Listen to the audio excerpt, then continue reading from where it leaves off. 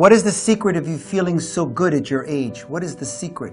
What can you tell people? Optimism and looking for the good.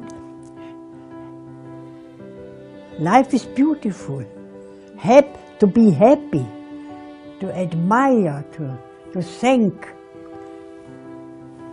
Thankful that we are living. Wherever you look is beauty.